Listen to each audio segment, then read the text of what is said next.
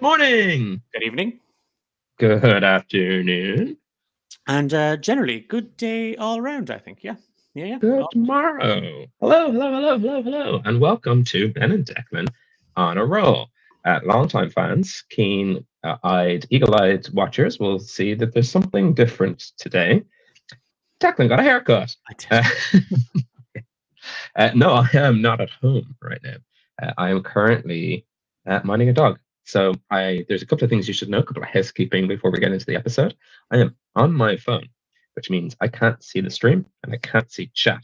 So you're gonna have to shout really loud when you type so I can hear it in the distance. So what I'm hearing is this is the perfect time to get away with just slagging the absolute crap out of Ben in chat. So if you're in chat, give us your best Ben based digs. Yeah, you can just type things in quotes and say I said them. Oh, yeah, that's yeah. Actually, that's actually even better. Yeah, let's let's get him done for slander. yeah, yeah, yeah, exactly. Well, uh, we won't be talking uh, slander today. We're talking creativity. In fact, we're on a creativity spree for this episode, for the next episode, a little bit for the last episode too. And actually, is a running thread throughout this entire show because we love talking about it. But specifically for the next three, we're going to focus on uh, different types of creativity in role play, uh, how to find creativity in moments in your game. Uh, there's also the the inevitable kind of dark side to that too. We're going to talk about creative burnout a little bit in about two episodes' time. And actually, um, if you have opinions on creative burnout, if you uh, have thoughts, if you have experience with it, we are. It's it's not something that's unique to to a couple of people. I think we we all feel it when we give something we love our all. We are at risk of uh, burning the midnight oil, burning the candle at both ends, burning out. I suppose is a good way to put it. So we're going to try put together as many people as possible, uh, sending in little clips, whether it's like a voice note to us, whether it's a video clip, whether it's even just a message in text and we can read it out of all the different ways to experience burnout so we get a kind of full picture of it. Now, here's the funny thing. We realize the irony of asking people to do stuff that takes time and effort and creativity when talking about a thing which is um, not having that in you to do. So uh, we are very aware of the irony of we're going to talk about creative burnout. Let's ask a lot of creatives and add things to their workload and plate. Uh, so please do not feel pressured or otherwise. Um, when we get to that episode, I think it will become very clear that even posting something online, even replying to someone in a text, or even things that seem like they're low effort can feel like the most momentous task in the world. And that's kind of the danger burnout. But that's not today. Today is creativity, role play, perform performance at the table, and mechanics. And as I rather crudely put earlier in a uh, social media video, are they oil and water, or they like mayonnaise? Will they emulsify to a? I'm, uh, if anyone knows me, I have a fear of mayonnaise, so I'm not going to finish that sentence. I find the stuff gross. Um, but yes, can we mix oil and egg and vinegar and make something that some people find delicious, but not me? Um, that's the hub for today. We also have a special guest. We have an interview with Jacob Wolf Lefton, and no more than today will it be very clear that these things are pre-recorded because we'll cut to me in a suit in the usual room, and back to me in uh, in a house where I'm running a dog. So um, you'll know that this isn't uh, me running upstairs, quickly changing, and then sitting down. Oh down, no! Everyone's seeing behind the curtain. Our professionalism is ruined. the illusion is ruined. Um, I and uh, then Declan's going to share some inspiration. Sorry, you probably just expect to say that. Yeah, no, yeah, I, I, Yeah. no, it's fine. No, no, no, uh, I'm, I'm, I'm, I'm just, I'm look, I'm just the looks on Ben and Declan on a roll. I'll, I'll just, I'm just the pretty one that sits in the corner going, "Oh, you," and that's, Mm. that's no, I, um, I like, it, it is. I, I was saying to Ben uh, a, a little bit before the, as we were kind of setting up the stream and stuff, that I, me and mechanics are well, if you've watched anything I've ever DM'd, you'll go, uh, "Oh, Declan does think they're oil and water." um, I, it's one of those things that I, I, I love. I love to play with them, but in always in that vein of how is this going to help the story? How is this going to be a fun little thing that we do? Um, and I'm so guilty of, um, and, and Ben would know this because he's been in my house. But like, I have uh, directly above my station where I'm working at the moment, I have a um, a wall that is just filled with TTRPG books and systems, uh, all of which are largely unplayed. Um, and I, I buy them because I like, oh, that sounds really interesting. That sounds, and then I pick it up and I'm like, uh, I have to learn this. Uh, this is different. And then I watch someone else do it. I'm like, oh god, that's really easy. I'll do that. That's not that bad. Uh, so I think yeah, there's there's a lot in this that we're going to unpack um because there's stuff that ben and i don't necessarily agree on as well when it comes to the mechanics of stuff so there might be drama uh there could be drama There might Uh, It could be. Could be the first um, time this, ever. could be, this, this could be the end of Ben and Declan on a roll. Um, there might be Ben Ben on a roll wall. Declan on a roll separately. Um, Until years from now, we, we announce the comeback tour. Our surge pricing goes through the roof, and there's a big old scandal. As everyone wants to see the two guys back together doing all the hits. Definitely. Well, maybe. getting creative. That one episode on fantasy, and do those again. um, but no, it's it's such like because it, you know it's horses for courses uh, when it comes to these things. Um, and there's lots I've of ways. never heard that phrase. Horses for courses. You've never heard the phrase "horses for courses." No. Oh God, please tell No, me no, that's a thing. Please tell me that's a thing. And I have not just been going around to people going, I, so, you know, it's like horses for courses, uh, where people are like, oh yeah, yeah, because everyone usually agrees with me when I say that. Uh, Mhm. I've never had. Oh God, if you're in chat, It has to be a. I, no more have I wished I could see chat to see if I'm in the wrong or nobody you're in the wrong. There's, there's nobody in chat except Twiggy B one one Sabura. No, I've never, I've, I've never heard it before except from you. Okay, so technically, Great Gray's World 2005. Nope, never heard it. Um, right. Okay. Um, I think I may have invented an idiom. Um, Well, it's like horses for courses, really. I'm cutting this I- so- I'm done with you. What does it? What does it mean? so like you know like um like uh, like uh, every course so like every racetrack there's a good horse for that race so like horse for course Right. Yes. Yeah. yeah yes. I. uh, Yes. So it's. Um. okay is- This suits really well in this situation, but not always. Every horse, every dog will have their day. yes but i say horses for Yeah. courses which is a normal thing Right. to say It sounds like you're eating the horses. That's when. Multiple horses for different courses when are you serving the horse course? Um, we've had our starter, but when's the horse we're course actually, coming? we're actually starting this evening with a little demure Shetland pony uh, Ah, to, yeah. to start off the to, to whet the palate. Um, Mhm. uh, yeah, no, it's a real saying. It's out there, um, and Stop trying to make horses for horses. Stop trying to make it happen. That's going to be the new Benedict on a roll slang. Benedict on a roll, horses for courses, don't you know? Uh, Um, but no, I that's a real thing, and I didn't make that up. I will be googling it during the interview to prove to um, an amuse hoof. Sorry, uh, so just so you know, Twiggy B11 wrote the three words "an amuse hoof" in chat. Very good. That's the horses courses.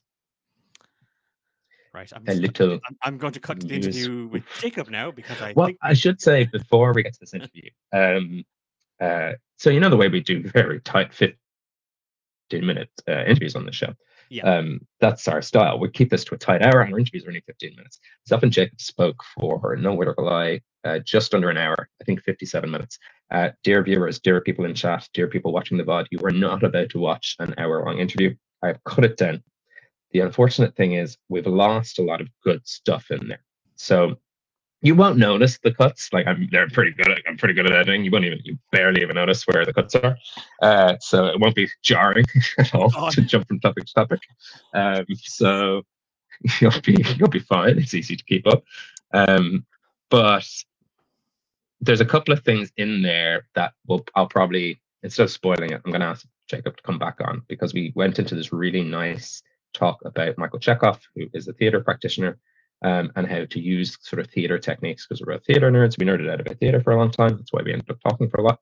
Um, and I might ask Jacob, if they're around, to come back and specifically talk about like techniques and tools and tricks that you can bring to your table.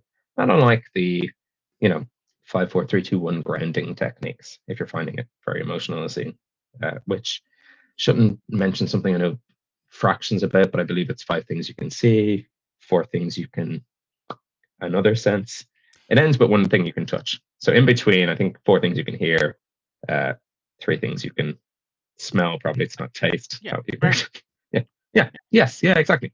Um, so there is a lot missing in this interview. Unfortunately, you're not getting the full thing. If we were smart and we had like some sort of paywall, that's where we put it. Uh, but no.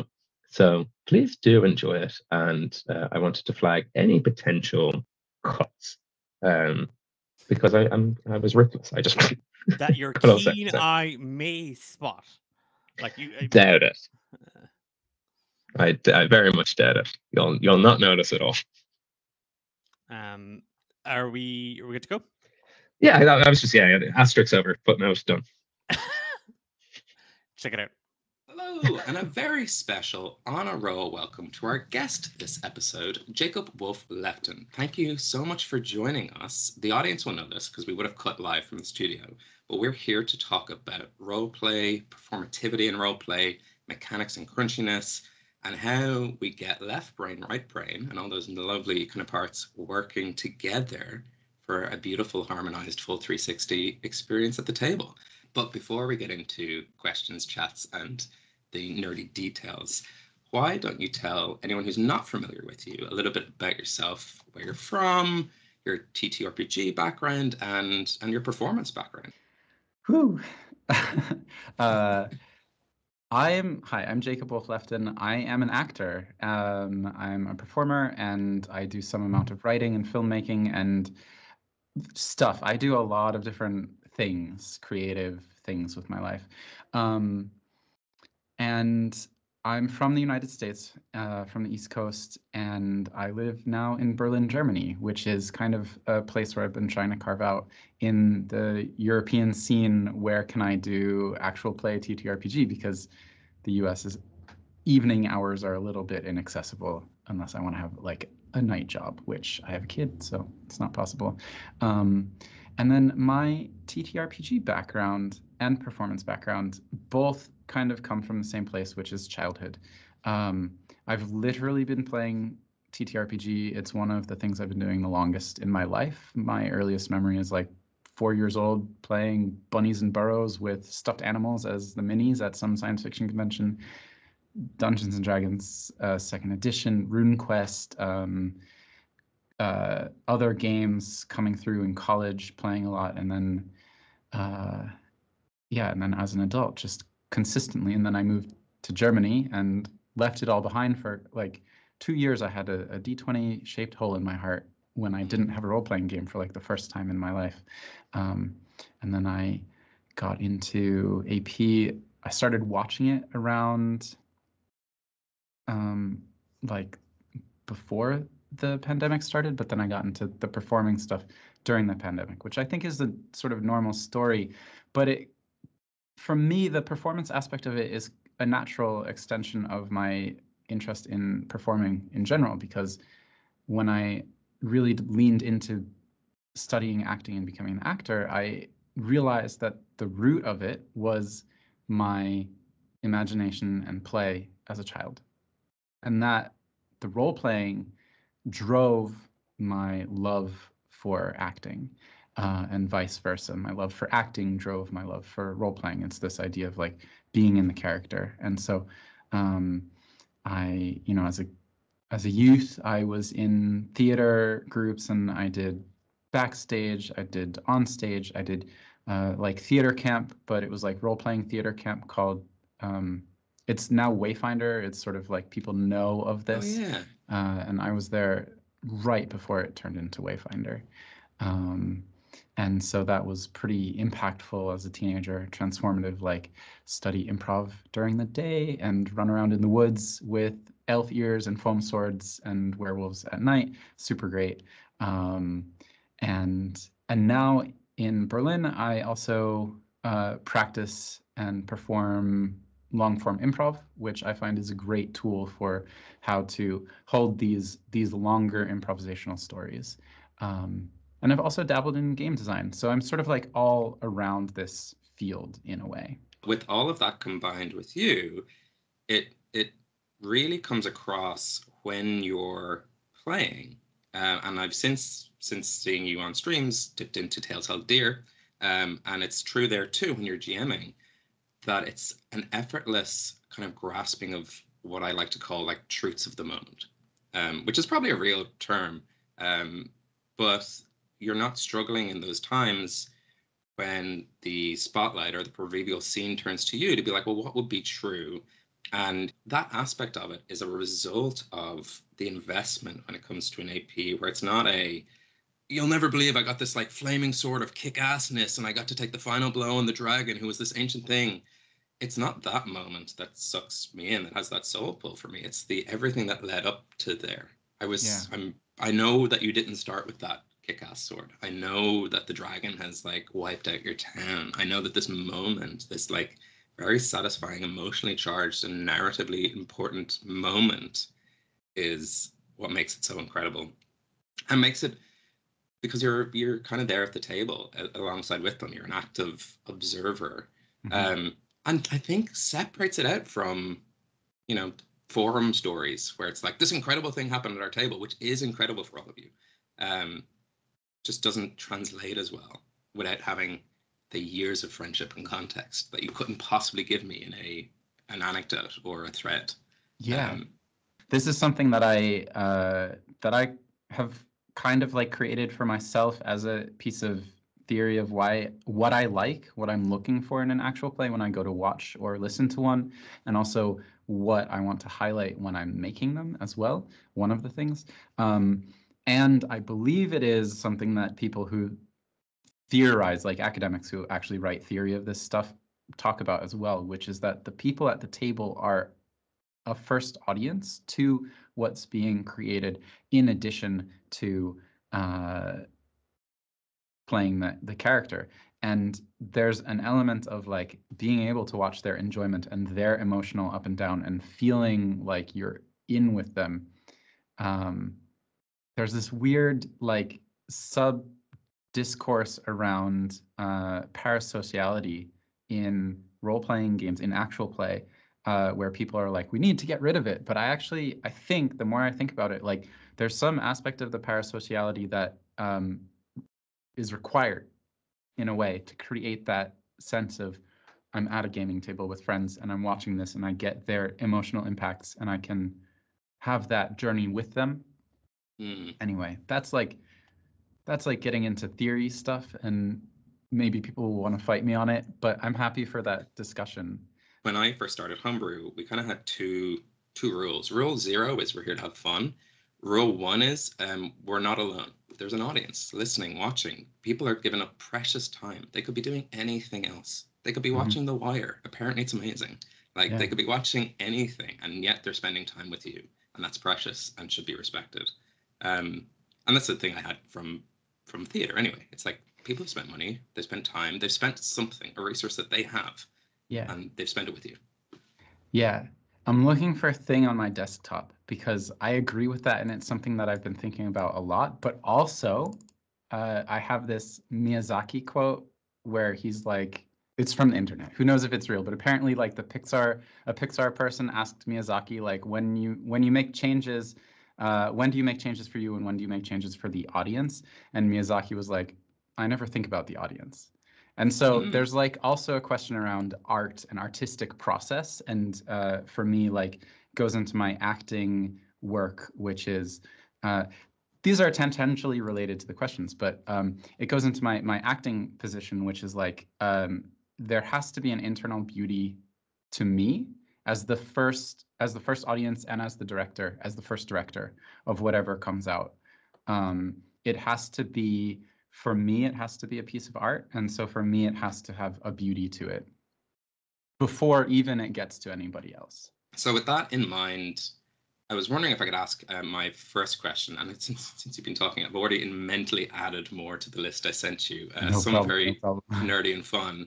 Um, but my first one is how do you prep a character? And if you wanted to use uh, Kevin from the mail room as an example, feel free to, uh, yeah. but you don't have to. Yeah, let me talk about Kevin specifically because he's mm-hmm. like what brought us here in the first place. Um, whew, uh, all of my characters, whenever I make a character, for me personally, it has to be narratively grounded.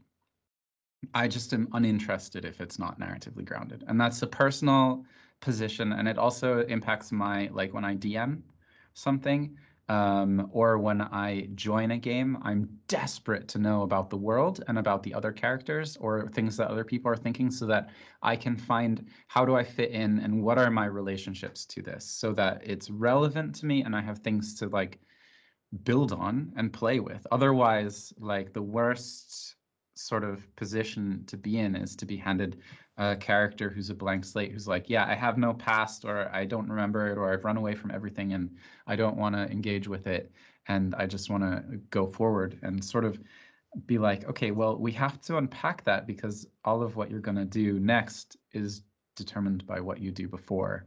Um, and so this is this is deeply important and i think it's um, one of the things that drove one of the things that drove Kevin, um, because we have this tournament, right? And this is just it, on the outset, it's at this crunchy, like, hey, we're in competition. I'm not, I don't do competition well because if I like really allow myself to be competitive, I'm gonna be really, really competitive. But then I get, I turn into like an asshole, and I don't want to be that. And I really, I'm not really a competitive person. I want to have fun.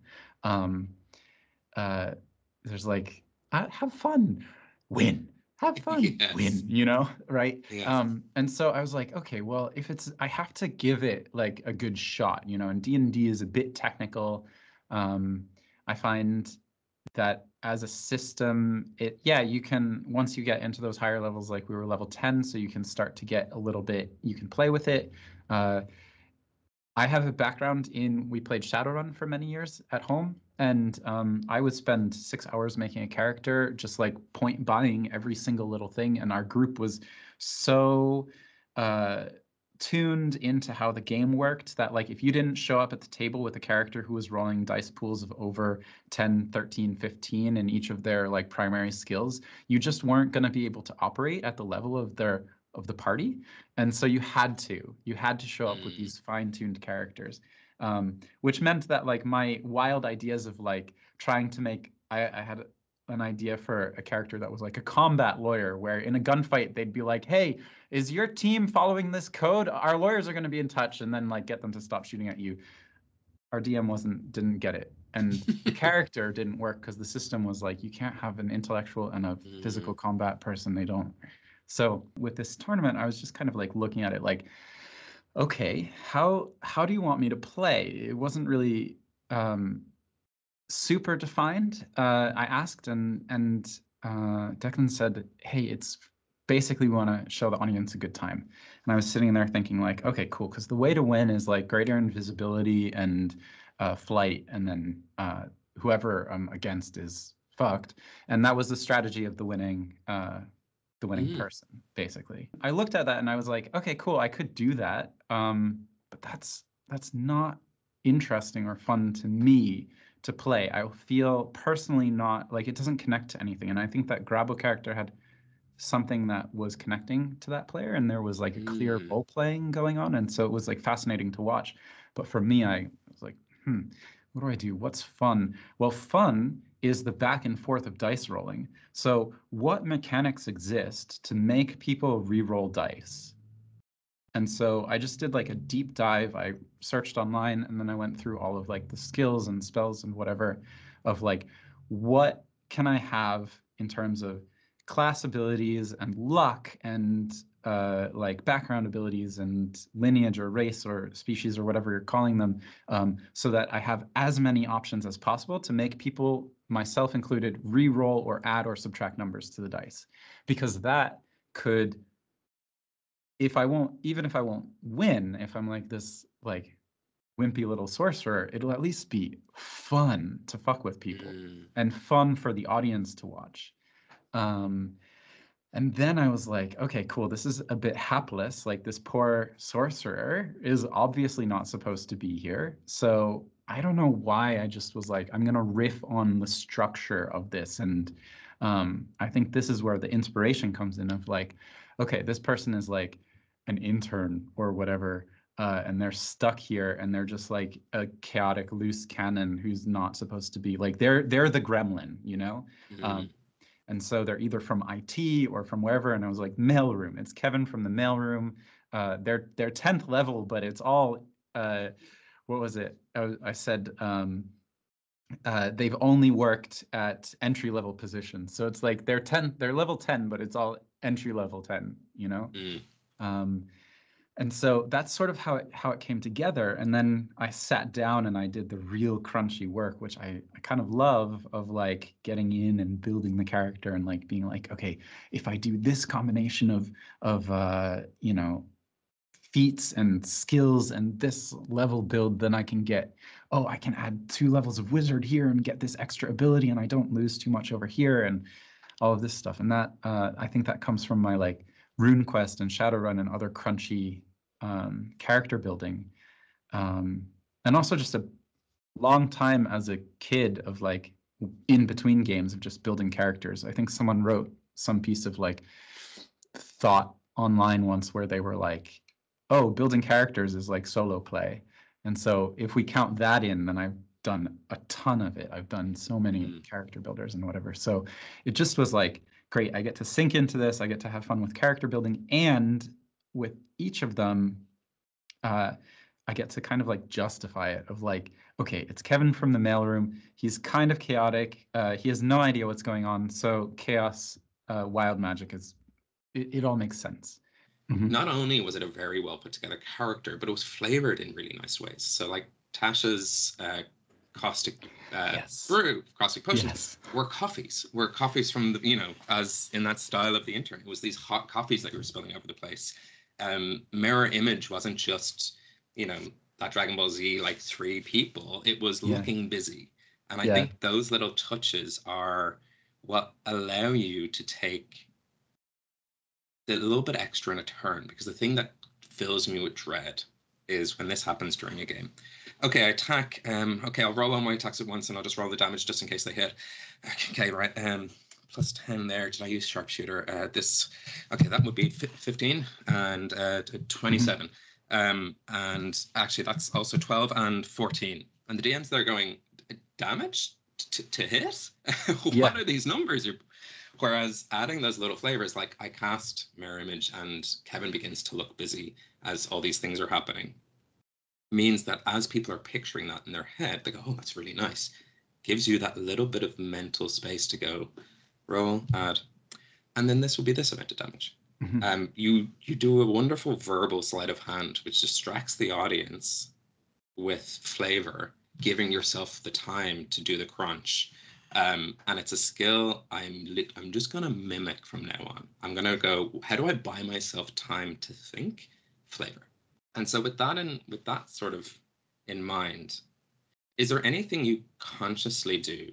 So these are things I'm trying to consciously bring to the table. Is there anything that you consciously do um, when playing to give yourself the space to both balance mechanics and roleplay?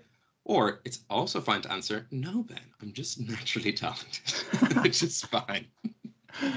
uh, well, I have to say, like, um, I'm looking at my prep sheet for Kevin, and I also have like my my actual physical record that I did. You know, actually crossing out bubbles and stuff for the different spells and sorcery points, and um, yeah, even forgetting stuff, but also like just uh, the the moment of um, tactical play in theater of the mind and being like, okay, I know that if I play this right, I can be out of reach of this particular warrior because I know how far they can move and what they need to dash and all of this. And and then you're like, but in, I'm in theater of the mind, and if I play technically like that, it sucks for the other Mm. people um, because it, you can't see it. There's no reference, and so I'm just wheedling out like, oh, can I get five feet here or there? And it's up to a DM to be like yes or no, and it's sort of less fair for the other player to be like, well, I'm just, you know, I'm a come on.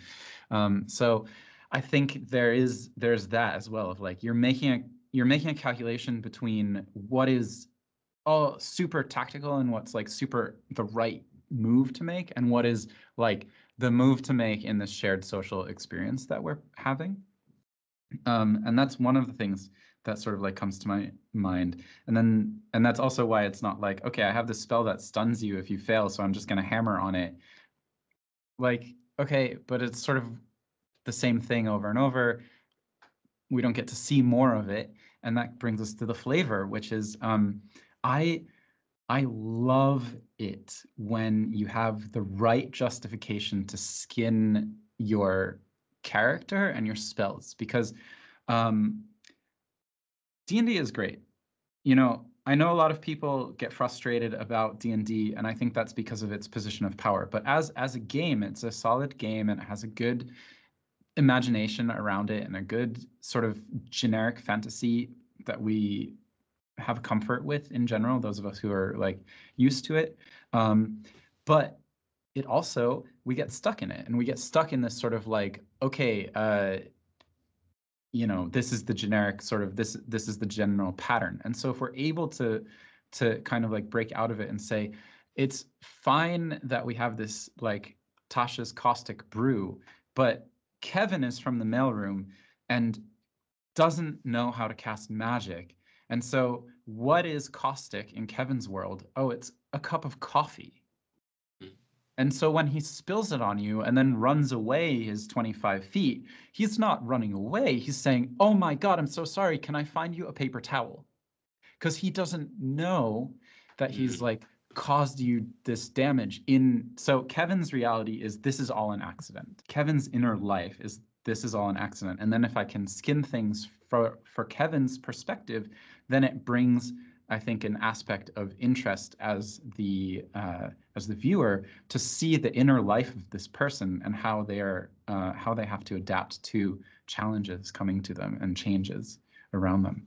Um, and so that's kind of that's one of the things that I like about skinning things is it's not just for for coolness in my mind, but it's as much to show like what is the inner quality of this person. I think that's how I how I go about it is like really imagining what is the inner life of the character, what is the the reality and texture of the world, and how does what they're doing, how do the mechanics sh- reflect that and show that? Um, I think that's in my mind like the point of mechanics is to simulate a world, a, a suggestion of this type of world, and so when we lean into mechanics, how do we show that? How do we show how how does how does this magic or this swing of a sword or this particular skill, why is it so hard this way uh, or easy or whatever it is? And how do we, and like, um, how did the character come to that moment? The other great thing that flavor does between the player and the DM or the other players, but I find it especially great as a DM is when my player gives me the flavor. As the DM, I can say, "Oh, this is how you imagine the world working fantastic. I the more you give me of how you think the world works, the more I can incorporate that into my world building. And so then the world can work how you want it to, but I can use it to tell our collective story more deeply. I might skip into it, it brings us a little bit close to a question I have, which is do you have any favorite traits for DMs or players? And I think we've sort of danced around it. I think I could guess, but there's no harm in vocalizing it. Yeah, I think that like one of my I, I always I think I always come back to this uh, just this like base word of like kindness. Mm. And I don't know why I come to this, um, but I always feel like the worst thing to, is to be at a table where there's where I feel like there's an animosity or conflict on the player level, and I'm really looking for just like um, the raw kindness to each other and acceptance. It's kind of like um, when we do our improv work here, we have these golden rules that we follow of uh, it. You um, we use listen, agree, and support. And so the listening is like taking in, agreeing is like the yes part, and the support is the and part, right? Mm. Um, agree with the world and then support the world building. Uh, and so the more that we can do that together, and I think it is really uh, like empathizing with other people and being kind at the table um, and seeing GMs who are like really celebrating their players is great. Um, even in high intensity moments, I'm currently working my way through the critical role downfall which is like level 20 brennan lee mulligan with a bunch of level 20 gods and he's thrown this mm. impossible adventure like challenge rating uh, fight at them and at the same time he is as uh, excited about their success as they are. Even though he's like we got to make this interesting and, and hard um, he's uh, you know generous and kind and giving and and excited about the work that they're doing together. Um, and that's uh, that's beautiful. I love i love to see that happening. Um, and also for players together when they're fans of each other's characters and want to see moments of each other's uh, characters working um, and i'll throw it to the work we did with uh, when i played corinthian in what was it called the the Close uh, Encounters of the Prom kind? Yeah, Close Encounters. Yeah. That's right. Close Encounters of the Prom kind. Um, uh, I one of my tactics in that game was to try to have a scene with each of the other characters where we could have uh, an emotional character moment because the game had us in competition with each other. But I wanted to show we're all here together and we're all kind of like in this friend group who came, even if the you know I'm the richest character and I'm kind of like potentially uh, part of the backstory was that I've like invited them to my parents' vacation planet and I I imagine that he like is essentially paying to have friends or whatever. But I also mm. thought like if we can tell an arc with if Corinthian can have an arc with each character, it gives each of those characters an option, a moment where they can have like uh, an emotional expression and um, we can we can have some sort of of story even though it is this fast one shot with a very competitive uh, uh, approach of like one of us gets to be prom lord um, and so i was really aiming for that in this way this like i i want to hear from you and i want to have those moments with you i'm i'm excited about you watching that um stream watching that game and if you haven't seen it, it is the, the VODs should be up, I think. Please do go watch it. It it just made me think of the best example of why we play these games. And and for me it's like I can't watch movies these days without going, I think the writers play play tabletop games. Um, I think they've I think they workshop this in a game. Um, and the opposite for this, which is like this feels like the best teenage comedy that we don't have in existence because what better way to kind of poke fun at puberty and the kind of awkwardness of it all than bringing the outsiders being aliens who are true who are going to speaking of uh, listen accept and support they're going to see teenagers and go right that's that's okay so all the things that we kind of feel embarrassed or ashamed about these characters are accepting with open hearts and going that's how we connect with these people it's through these weird little things um, which i loved and to, to hark back to a, previous point when we were talking about Brennan Lee Mulligan on Dimension 20 and on Critical Role, there's something I learned far too late as a GM because I try to have very kind and wholesome and supportive games. And I'm saying this mostly to myself. It is kind to give your players consequences and have high stakes. Yes. It is kind because that's what they want. They don't want the soft Deus Ex, we've saved you at the end. If the if the dice are rolling badly, and they've walked themselves into a situation, make their choices matter. That's a that's an act of kindness you can show people at your table. Um, and I am guilty of sometimes not doing that, where I'm going, oh, "That's okay, I'll say I'll save you, my little guy. like, don't worry about it. I'll just someone swoops in, don't worry about it." And I need to stop because it then punctures the enjoyment of the game. It then it veers into the, well, why, of course this happens. It's a dream. It's fine. Like this is all make yeah, it, yeah. makes it less real. I think. Um, I've done that. One? I've, yeah. I've done it too. Yeah, and it's like, mm, how do I make it stick better?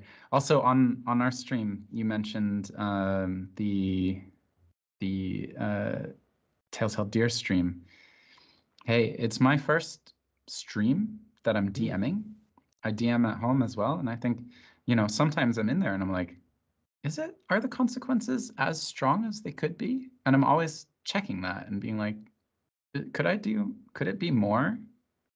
Um, and I think the answer is like, probably. Yeah, yeah. It's it, it is hard to watch people you care about, but from player sense and from a character sense, go through something tough. Um, and I think it's part of the the greatest challenge as a DM is not to, you know, it's not all the prepping, it's not all planning, it's not all the kind of scheduling and the kind of these these idiots don't appreciate my genius. It's not all of that. It's the okay, do do nothing. Do do not step in. Only honor what has happened and the choices they've made. I think that's us to that I'm point landing the plane, but I want To you to that land point. with this point. Yeah. Yeah, yeah. I've I don't think I've ever played a game where the people at it weren't bringing some part of themselves to the character, even if they like I I know people who who are like I try to play completely off type characters or little niche sort of like things, and when I think back on the pattern of it, I'm like, oh no no no. If it's off type, it's sort of like that's your reflection in the mirror. It's so you, but just reversed or or Mm. inverted or whatever. Like you can't escape it. Um, seeing it over and over as as constant patterns. And then looking at my own characters and being like shit man. Let's like no matter how hard we try there's an element of us in there. Um but in my live shows i've actually started narrating a threshold of like and now we step through a gate you know a, an archway with stones and the runes glow purple and a portal opens and now you step with us into the world of and then we enter into the improvisational world together. Yes. Yeah, yeah. I love Uh, that. It's a really nice um, join hands, jump into this book. The, Exactly. the world as you know it, and the realm as you know it, and physics as you know it. Like leave Yeah. expectations at the door and, and join us on this.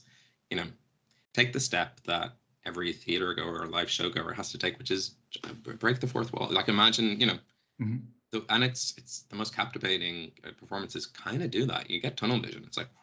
It's almost Yeah. like when you're too deep in a book and someone pokes you on the shoulder. You're like, "Whoa, whoa! You just pulled me out of a different world." Wow. Yeah, Um, exactly. It's a beautiful place to to be in. Um, so thank you so much. This has been fantastic. I Yeah. um I messaged Jacob and was like, free for a 15 minute chat. I had a feeling um, we would talk and and get on and and have so much more than we've even covered, if you can believe it. Oh uh, it's one of those things. I next time I'm in Berlin, I'll just be like, hey, I'm nearby. Want to go get a coffee? Yeah, we please. would probably please, chat please. for hours.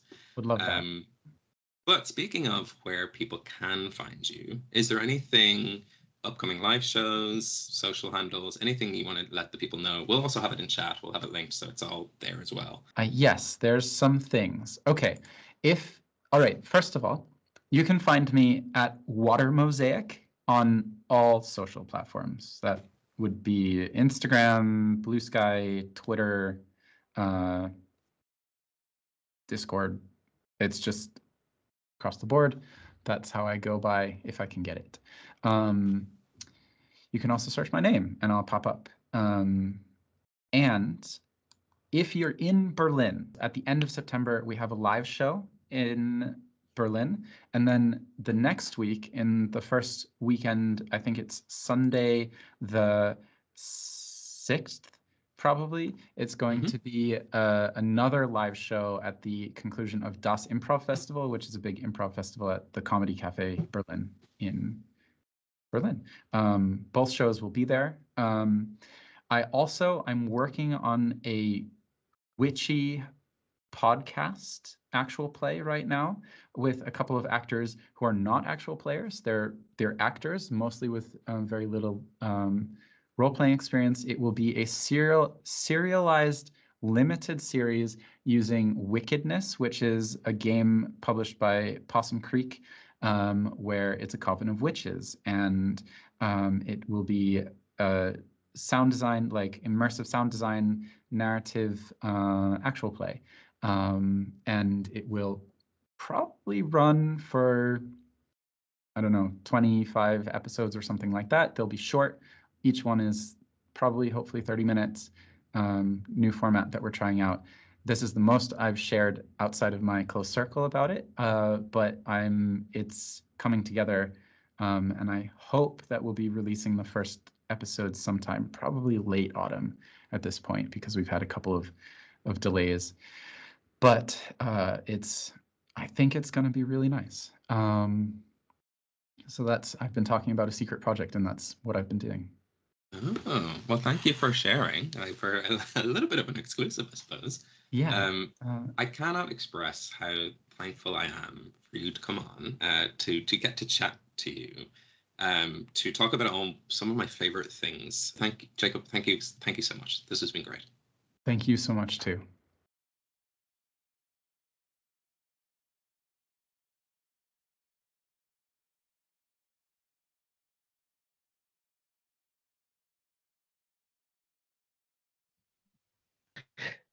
Hello, and welcome back to the present, or if you're watching this on a VOD, the past. What's it Um, like in the future? I well, Ben. Apparently, you're the one that can see through time and run through time because you were in a completely different location two seconds ago. Um, yes, yeah, yeah. I had to quickly change. That's theater practice, baby. Quick back on quick stage. change. Uh, yes, and um, Jacqueline uh, owes everyone a big apology. I looked it up. Horses for Courses is totally a real thing. I knew it was. I kept saying it was. Declan was like, no way, that can't be real. Um, but a real thing, which means, because this is an educational show, what's for one person mightn't necessarily be for another. So it's not every dog will have its day, Declan. Only an idiot would say that. Uh, it's the thing I just said. Uh, you are not gaslighting me on this. Uh, I will scroll back up through those comments uh, where I kind of felt the sting of judgment from Gray's World and Phoebe uh, about my use of the phrase "horses for courses." Um, And my facial expressions definitely aren't judgmental either the entire time. oh, I like, wasn't looking at you. "Hmm?" I was. I, I look at my own during the stream. I only look at my own camera. I'm not looking at you at all. Uh, uh, we barely, we don't even look at each other when we're in like in the green room. Uh, Mhm.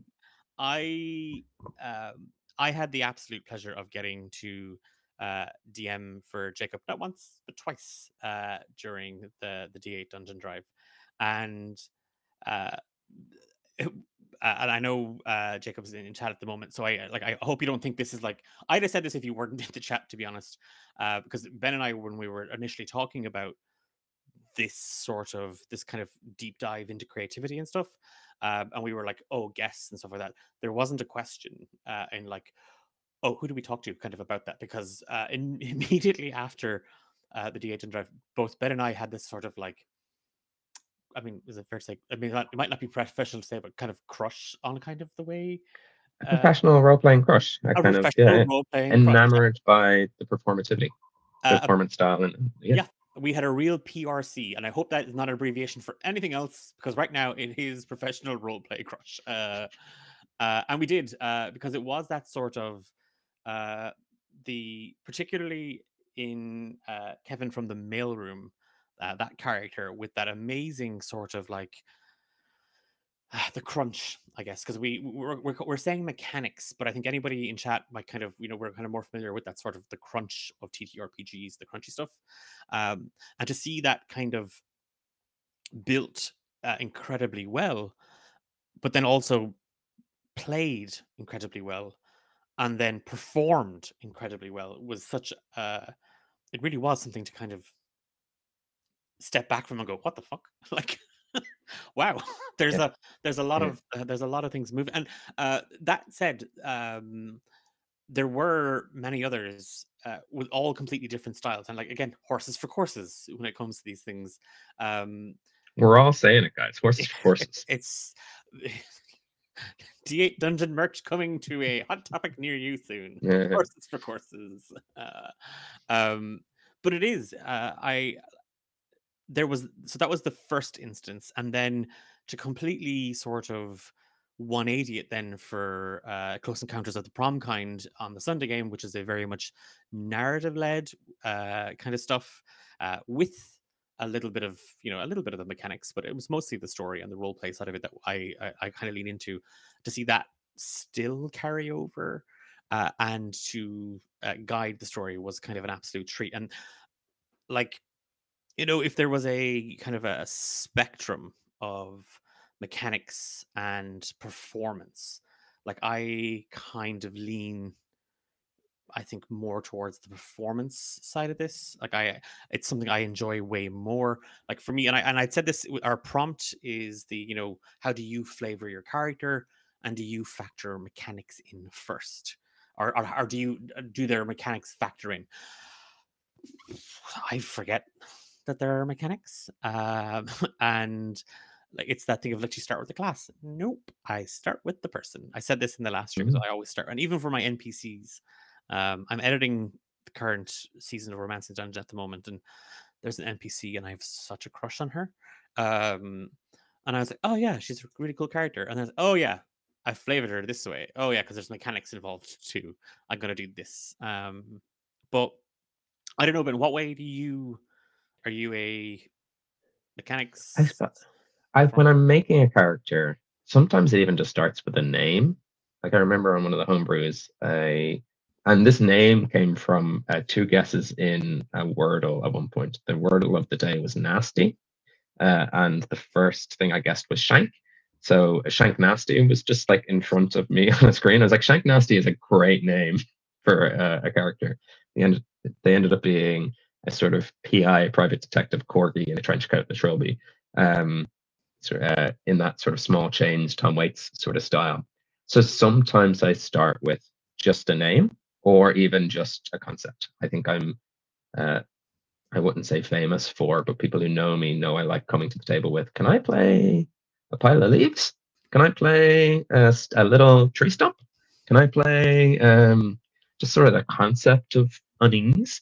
Um, and often when I'm chatting to people, the question will be, okay, well, how does that work mechanically? Uh, and my brain goes, what, what, what do you mean? I move 30 feet when I need to move. I cast spells when I cast spells. I take HP off my sheet. It's almost like a separate thing. I'm like, yeah, the sheet will just operate. Don't worry about that. But like visually, flavory, uh, I am a floating little worm dragon in the air. Like, um, and I think it breaks. I can see it breaks people's immersion when those two things aren't are totally misaligned.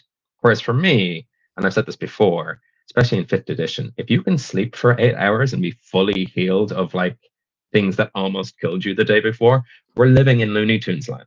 It's mm. cartoon mechanics, it's cartoon physics.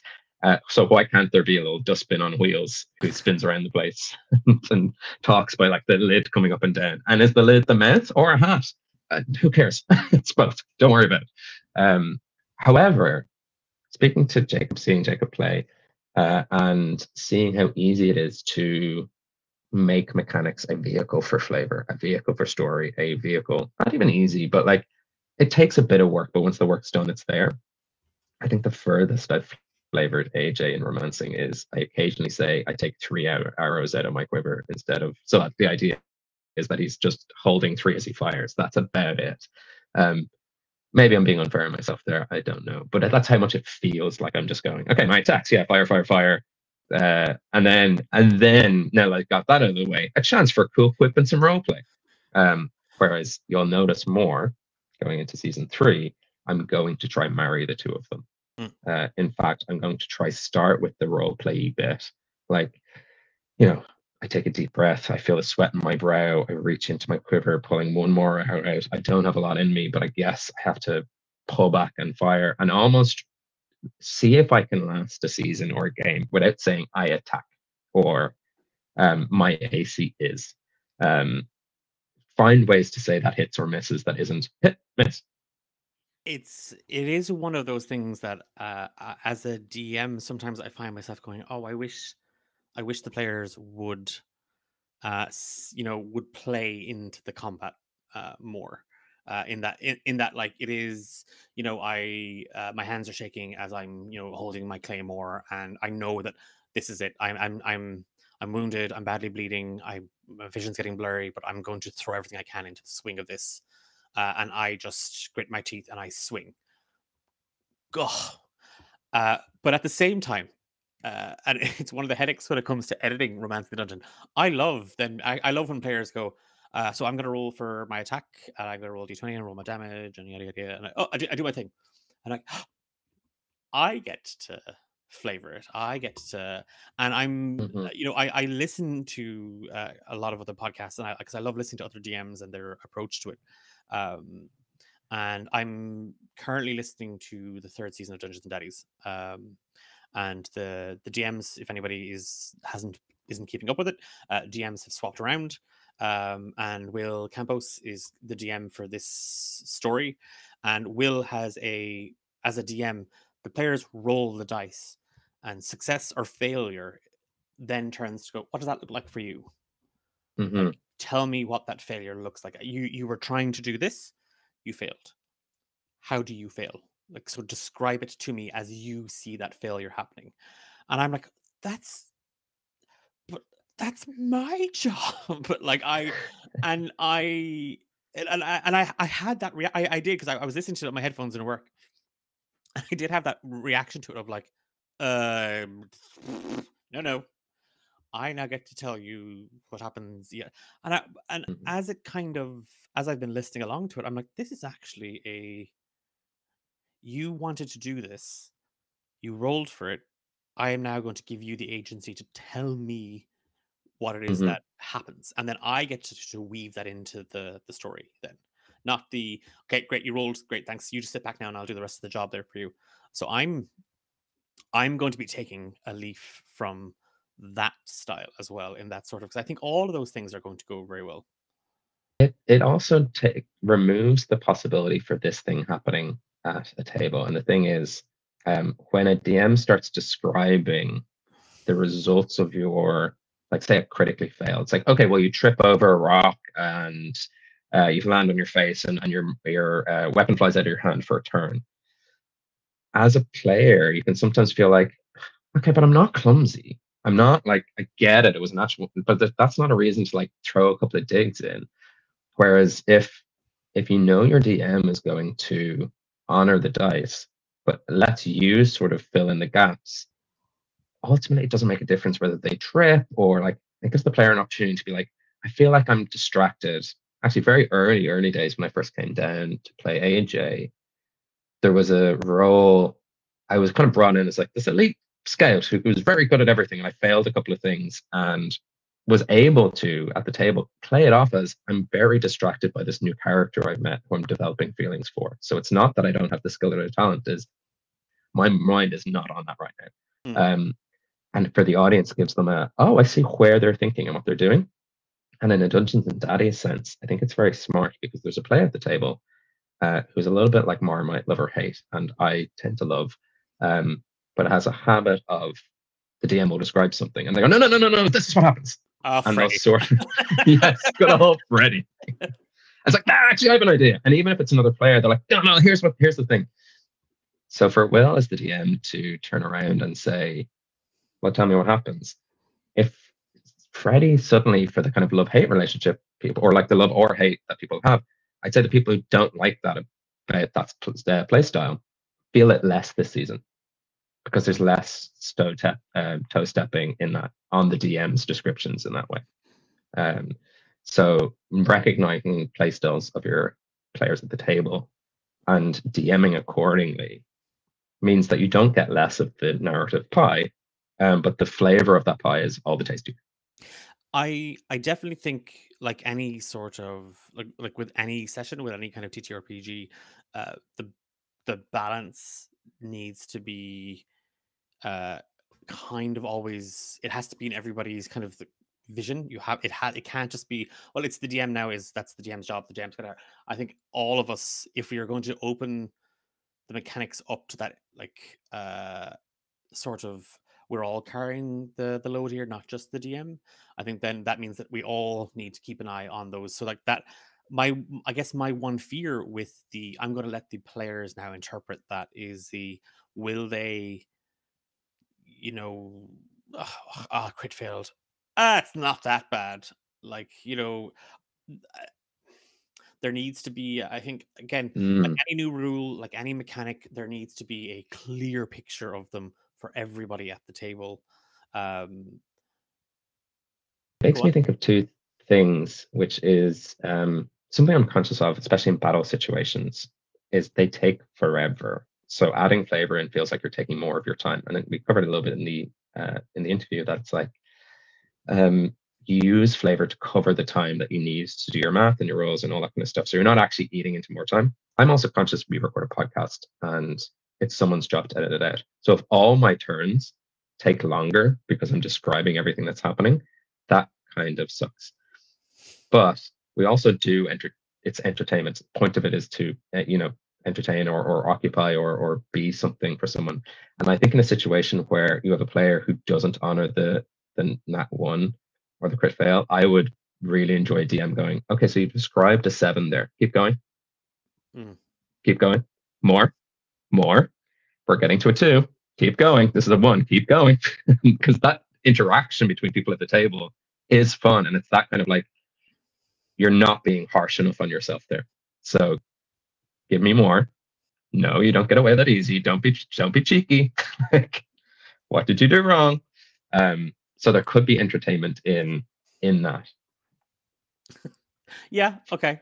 Hmm. I again I it like as one of those things where like when you know when you're like when you you come across a new system or you come across something you're like oh and then like, I, I, it's that initial sort of excitement and even as we're talking about it now i'm sitting here and i'm like i just don't think i want to do that i just don't think that's the way i mm-hmm. want to do this i and and i and I, for for two reasons one it's it's uh, it's the part of dming that i really get to enjoy um mm-hmm. but i also uh I, like again this is me kind of trying to grow and, and like uh, develop those dungeon master skills or game master skills. Uh, I, I have an awful lot of trust in my players around my table uh, for the story mm. and for the rules and stuff like that. Um, so uh, for me, a, a, lot of the time, I am just sitting back and I've put a situation out there. Great, I get to chill out for 45 minutes while ye you know, start riffing uh, completely and totally, and it's going off in a million directions. Uh, and it's great for me to sit there and let that kind of unfold. But then, oftentimes, my from my perspective, thing that I then do is the I not reining everybody back in, but I start to kind of put the walls up around it, where like this is mm. now a mm. structured thing that we have just built. So now let me cement it in place, and this is the thing that we now have, and now let's move into the next room and do the next thing and build on to that. I, I yes. but I'm also uh, you're, you're you know you're talking about that person eating into the time and stuff like that. I literally listened to myself describe hanging baskets today uh in in in while I was editing the next uh, one of the episodes for Romancing the Dungeon uh for 63 seconds. I described hanging baskets that had nothing nothing to do with uh anything other than I was printing a pretty picture. Uh, and I went, okay, I can mention that there's hanging baskets outside because it's a bit odd that they're hanging baskets with flowers in it on a mountain. Um, that's enough. Cut. Nobody needs to know what's in the basket. Well, funny you should say that because I used to describe things a lot and take my time and really sort of token it up, I suppose, to put it in it. Like I'm going to tell you the texture of the leaves, etc. Going, I no one needs to hear that. Uh, and a player in Homebrew, Wes, was just like, I'm finding it very hard to picture where we are when you're just like, yeah, you're at a castle. He's like, what's the castle look like? I'm like, I don't know, picture a castle, whatever your castle looks like. And Wes, as a player, was like, but my castle probably doesn't look like their castle. I'm like, that's okay. Don't worry about it. Um, and sat me down and said, start describing things again because I need that sort of runway of description to to settle and ground myself in a scene. Um, so I think there is a nice balance, probably. Um, but having learned that lesson, I would err on the side of describe more than less. Uh, I, I'm not ragging on myself. Uh, it, that this is this was about four minutes into me describing the outside of this building, so I was like, this this needs to get cut down. which is 16 agree. minutes into you describing the road up to the building and yes no 100% it's all the lead up to this i'm like oh god like i'm literally i'm that gm because uh, it's mm-hmm. like and I, I I went into stained glass windows and everything, and I fully painted about the pictures of the stained. And that's cute. I'll keep that. But I don't think anybody needs to know that there is a little bunch of purple flowers and orange flowers because that had nothing. That was just me happily in my world explaining to the player what I was seeing in my Mm. head. Uh, and myself and the player knew that going into it. But from Mhm. from a from an audience, and we're kind of gone off topic. Uh, but I'm going to bring us back because I want to talk about something in a second.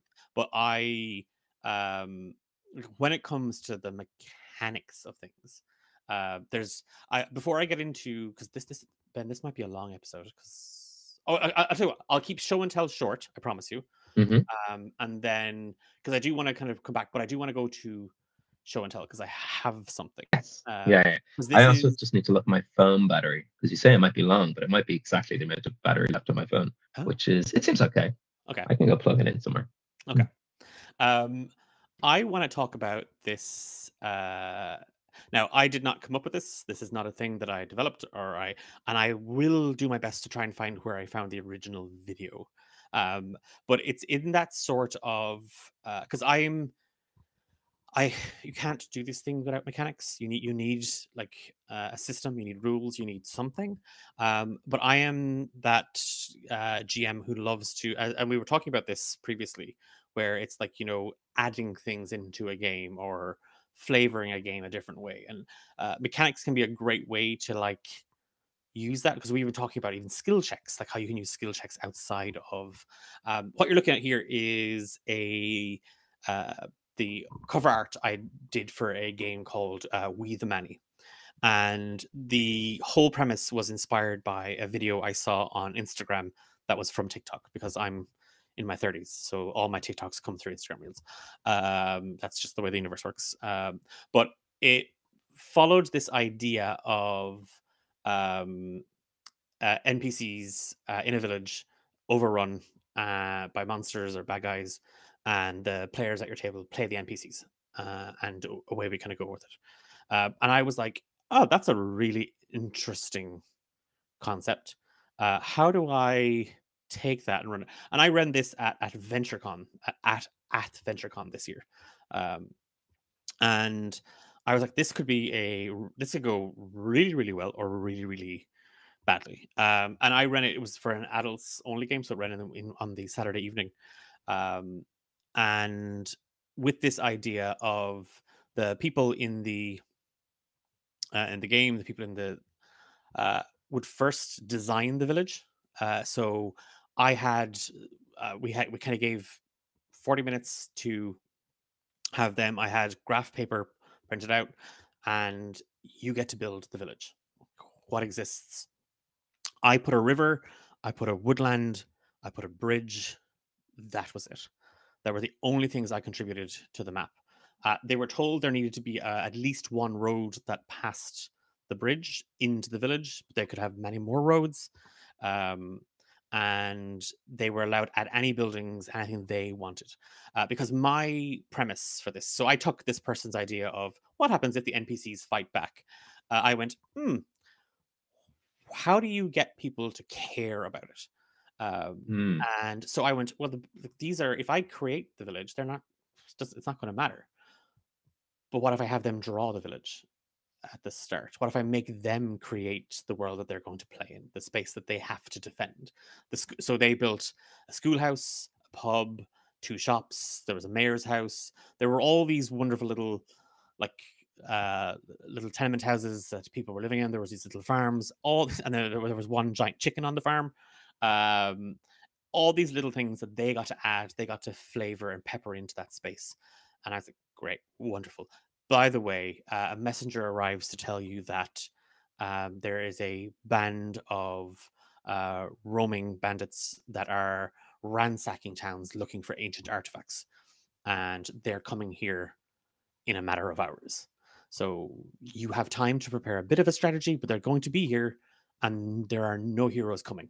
Uh, there's not enough time to raise uh, awareness. So again now marrying the original concept with my f- performative mechanics and they were able to come up with Mhm. strategies that i was not privy to like they were you're going to do this this and this and i get to then so if you've laid traps uh-oh traps were laid um, and kind of began to kind of unfurl. You can see that there's the, the sorry, it was one giant pig and three medium-sized chickens uh, that that we had, um, and things that they put in, they were now getting to use. So Mm. turns out that in the woods there was a cave, and in the cave, sorry, it's like the rattling bog, uh, and in the Yeah. cave there was a witch, and they went to visit that witch first, like to be like, "Hey, witch, give us some stuff that we might be able to use to fight the bad guys." Turns out they'd already grabbed the witch. The the Right. monsters, the bandits had grabbed the witch, uh, but that meant that they now knew that the whole rumor about the ransacking the villages looking for ancient relics was a real thing and then they were able to find some stuff that the witch that they didn't steal from the witch. So now they went in slightly armed. Um my mechanics then because they were trying to plan and plot and uh, figure things out my mechanics came into foray when it turned into a you're now fighting for your lives you're an npc you're level zero um, and they had effectively uh, found a teleportation crystal um, that they hooked up to the cave where the rest of the villagers were. There were 100 NPCs uh, that I had written uh, that they were now going to fight off uh, a, a small, uh, like a, not even an army, but like a, a gang, a fairly formidable gang of uh, bandits, kobolds, goblins. You know, your uh, your medley of like bad guys. Um, Mhm. And the mechanic that I, I added into it was the well, if your NPC dies, because they're they're more than likely going to, they're not equipped for this. Um, you could actually sacrifice other NPCs to save them. Um, that like Mm. thr- three NPCs would in the battle throw themselves at the monster and they would take it down, but in the ensuing fight they would die. And I had I had a couple of these kind of rules based around this. Uh, there were also kind of items that were available for them to use that, like, had they explored the village enough, they're like, oh, that that weird statue that's in the middle of the thing that we drew. Um, that has a, a staff in its hand, but it turns out that's actually the immovable rod. Actually, no, the immovable rod was keeping up a pub. Mhm. Um, uh, was- yeah, it was. It was like it was like the it was it was that one load bearing beam. Um, and uh, a couple, you know, little bits of these things that were kind of like, oh, if you find these, you can use Mhm. these. Um, and so, like, what what happens if you give really powerful relics to um, NPCs? Um, and it it was one of those things where I had these mechanics, uh, these little tricks that they could use to save themselves, um, and they never once used it came close it, it did come close at one point that uh they wanted to keep a character alive and it was that thing of like i don't know if i want to sacrifice three innocent villagers in this Mhm. sort of thing and it was just um it's that sort of that thing that i like i had written i thought this is going to be a really cool thing this is a really interesting mechanic. And the performance superseded it because the the player couldn't justify what they were doing to use that mechanic. Um and i guess that's kind of the way i i always kind of view these. I, i'm a, a, a, a big big believer in the the story um the story always comes first i think i don't know Mhm. if that's like I'm the, I'm the same. Like right down to I love milestone leveling, but what I love more than milestone leveling is, um, and like I'm guilty of this on on Homebrew, where I'm just like, yo, level up. Um, I usually do it at the end of a battle, but it doesn't like. I much prefer when someone's like, I want to set out and I want to get really good at this, and then like put them in a situation where the sort of like beat one, they're bad at it. Beat two, they get better at it. Beat three, they've kind of mastered it, and that's your, you know, 80s movie arc uh, Mm. of a skill. So right down to unlocking new mechanics. I like when that's story driven, not just, well, I guess you get this now. Because it to me, from a from a narrative point of view, like take a wizard or take even a sorcerer, it's like I level up and I've got new spell slots.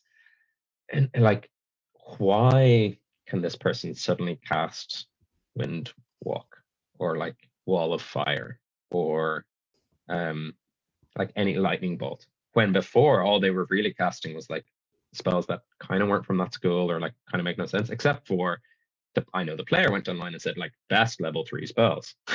Like, Hmm. and it was like this is pretty good loadout.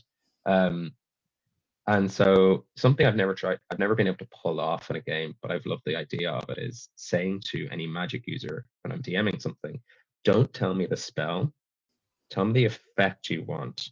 And as a DM, because I've played magic users before, I kind of know what limitations to put on it.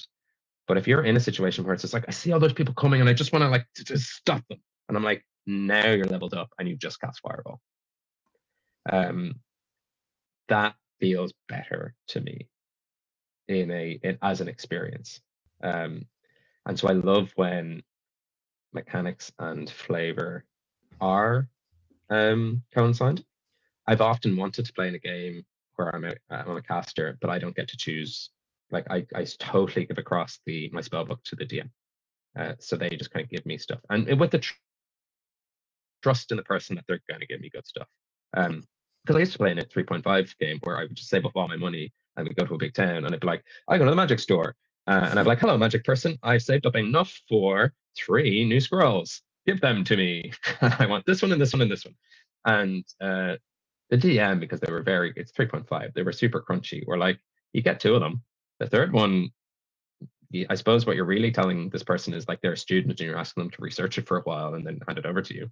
So you're just sort of paying for your homework to be done. And I'm like, yeah, that's okay. I, but I like even that was enough of a. That's how they had this on hand. They they mm. sent the scroll out to the arcane library, and the arcane library is going. We'll get like three acolytes to work on this, and we'll get it back to you in pretty quick because we're magic user. We can just poof it over to you. But it there is a reason why. How is this magic store fully stocked with all these like with the the exact spells from this book called the Player's Handbook that I have, or like this new expansion thing that I have. Um, so, so when it makes sense, and I say that as someone I know, like half an hour ago, I was just like, "Can I play Wild Leaves?" so, but I, yeah. so like, it's funny because I, I, I, I, I thought we might kind of, uh, you know, differ on a, an awful lot more on this, uh, and there is still something else that I'm going to bring to the table that I don't know how you feel about it, but I, um, I feel some way about it. I have, like, just on your point there around that sort of like it makes sense for my character to do it this way. Um, even talking about, you know, our game with Romancing the Dungeon, mm-hmm. all of you, uh, all of the players, again, it goes back to that like, oh, I trust my players at my table. Everything you all do, um, down to like even that sort of uh, like AJ has some magic. I think mm. you've used it twice, and you've used the same spell twice. Um, yeah uh, and that was it. And it's a thing of he's just not really doesn't want to use it. He's never really trained it. He doesn't really know where it comes from. He doesn't really, and that was kind of it. Um, and like even like even down to kind of um, uh, Louise, who plays Fia, uh, is a rogue, but wouldn't classify herself as a rogue because she wasn't. She she's just really good at like paying attention to things and that was her mm-hmm. job she would go on jobs with her brother, and her job was to be the lookout, and she would just keep an eye out for the customer because the customer was going to be coming back. So she's the scout, and it makes sense mm-hmm. that as a rogue, that's the subclass that she went with, and um, like the reskinning of a Festa from a warlock to a warlock sorcerer uh, mm. was done narratively. It wasn't just a actually I'm going to start taking levels in sorcerer because I want to do this. Is actually no, there's a reason why we you have it the way you have, and there's a reason why we're actually reskinning you. It was done with that in mind. Um, so I like uh, that's something that you and I, I think, from a player point of view, but as a DM point of view, as storytellers, it is that thing of like. Mm. The mechanics are great. Yes, let's do those, but let's make it make sense. Like, why yes. can you now do those things? Like, or why are you now doing it this way? uh, has to be a big part to it. Um, where I think we might, and I don't know, I don't know. Um, I, I, I mentioned this to you. I, I, didn't go into a whole mm-hmm. lot of mm-hmm. detail. Uh, I don't know how you might feel about it, but and I have just before I cut to it, I did reach out uh, to uh, Marcus or the individual because I saw this. It was it was kind of serendipitous. Um, I, I saw this, I was like, oh, that's going to be a great thing to chat about on today's show. Um, and there Marcus, uh, who has DM'd for us uh, a couple of times mm-hmm. uh, on uh, D8 Dungeon yeah, Drive. Sexy Battle Wizards. this season, yeah, uh, and Mhm. Lasers Feelings last year Mhm. um, tweeted uh, this uh, today. So uh, your AP can be filled with the most talented dramatic actors on the globe, but the moment the rules of the game you're playing stop mattering, you might as well be doing an audio drama. So I don't know. Uh, ben, where you fall on that? Uh, I it was really funny, and I uh, again, like I said, I reached out to Marcus to like, I'm this isn't me. Get him, everybody, get him. it, that's that's not what this is. Um, I reached out to Marcus because I, I initially seen that tweet, and it was one of the things where I, when I saw it, I read it so quickly that I was like, wait, what? Like Mm. what? And then I, I actually stopped and went, oh, okay, read this first. Oh, actually, I, I actually agree with that. And the reason I I, I kind of found myself um, kind of on that side of it, because originally initially I was like, wait, what? Like I, I, didn't know what way I, would- I'd interpret it. I like I go I go back to uh, again Romancing the Dungeon like something that I I always say and I think um even Amber when they're doing PR for D8 Dungeon stuff that will often say oh you know romance in dungeon you know we're a, a I mean it's it's in our tagline a soft core D&D podcast um Mm. and softcore there is not that again jesus there's a reason why i don't work in marketing anymore i went soft core because you know we don't, we're not really a d&d thing uh most people went softcore i mean you do you, you do softcore porn for dungeons and dragons It's like damn it no And um, I'm, I've got fans. I've been trying. I've been trying my best to get it in there. It keeps getting cut out of the podcast. like, you think I'm joking? I'm genuine. Uh um, i on. but I, we we often uh uh tread softly you knew what you were doing you can I- you, you can still hear me. I'm just Okay. double checking if I have a charger. Um, but stick with me, so you won't Well- see me for a little bit. But I'm just making sure my phone doesn't die. Give me a warning. um Yeah. we often would um on uh you know like it, it's that thing of like i would often say to people oh if you're trying to learn dungeons and dragons don't listen to us because we're not going to teach you how to play and it's not that the rules uh, aren't there they are uh, but it, it kind of goes to what the individual said in their tweet it's it's that they kind of stopped mattering a while ago. Like, uh, do not get me wrong, I'm not going to break the system. I'm not going to um, Mhm. suddenly kind of go, oh, yeah, look, I know it says here that the AC meets a beats a thing, or I know here it says, uh, you know, resistance is this, but it doesn't, or I know it's said to roll a d12 and a d8, but I think it's going to. I'm not. I'm not. I'm not doing that.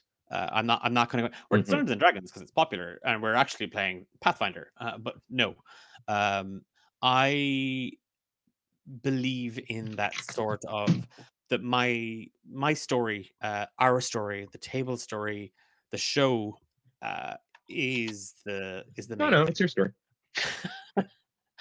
um, I is it though? Really? I mean, is it actually my? No.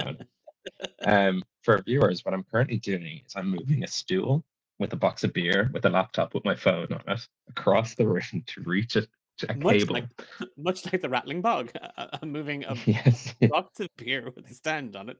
Um, but it's it, it it is that thing of the the story, the narrative is the is the first thing uh, in Romancing the Dungeon.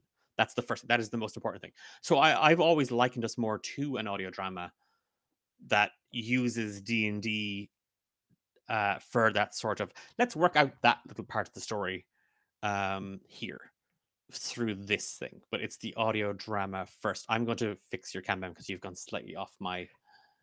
uh, I'm uh, speaking of soccer. I'm on my knees. Uh, so in front of this camera, we are good. I think I fixed myself. Um, Um, but I think there's a very important two-letter phrase that the Gingervidual uses, which is AP. Uh, and there's two types of TT or ETT or PG content, and that is the scale of actual play to narrative play. Um, and I would say that romancing verges more into the narrative play uh, versus an actual play, because you, you know when you really, really think about it. Um, I'm just trying to figure out like way to sit. he's fidgeting. yes, yeah. Now I just look like an earthworm gym Um, the uh, the actual, I would agree, an actual play should be you actually playing the game. Um, and the challenge there is the other part of that, which is being the most talented dramatic actors on the globe. Um, I'm a brave man if I think I'll last long. Kneeling on the floor in your 30s, correct. Um, but now I am now I'm hunkered down like a cool coach. I started streaming with my standing desk in standing mode, and mm-hmm. I did eight minutes of that, and I went, "That's enough. My hip is sore." so, yes. Good luck to if you start to hear screaming. That's just Ben's knees. Mm.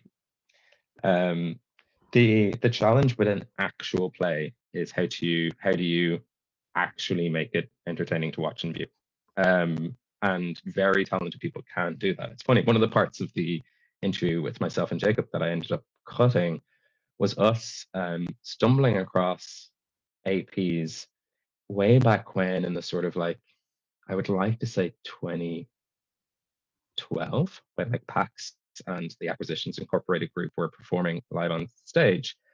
And I remember like scouring the internet to find any videos of this because there wasn't wasn't anyone playing D&D live and I missed being at the group. So I was in that situation where I was just like, this going to be good? Is this not going to be not? Like, and then because it's in front of a live audience, it's obviously entertaining.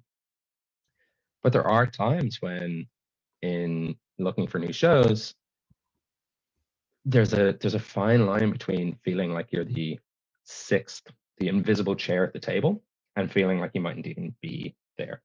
Um, and from chat, Jacob uh, Watermosaic is asking, is narrative play a real term? People are trying to use to distinguish from actual play. Uh, I first heard it. Um, God, what was their name? They used to be the producer of Root Tales of Magic and of these those stars of space, but they took a step back. Uh, it will come to me. But they sorry, were but I, I'm just getting all my angles in. I know, right? It's great. There has to so be. For, I think I can do this Hold on. There we go for anybody on stream who's been drawing us, I don't know, maybe that's the thing that you do that you've been mm. so you just ruined everybody's sketches. yes, yeah, yeah. Um goodness. Goodness, what is their name?